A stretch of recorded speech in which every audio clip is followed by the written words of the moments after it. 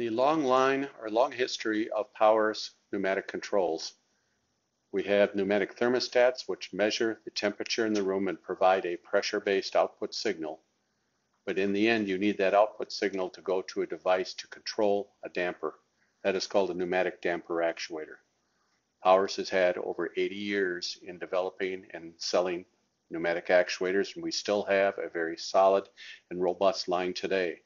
We have four different models, a 3-inch as pictured here, a little larger version which is a 4-inch that has more pressure or more, uh, uh, more force.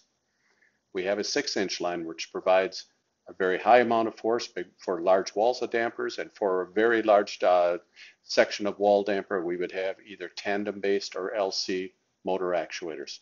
So look to Powers for your line of uh, very rugged, reliable, and long-lasting pneumatic damper actuators.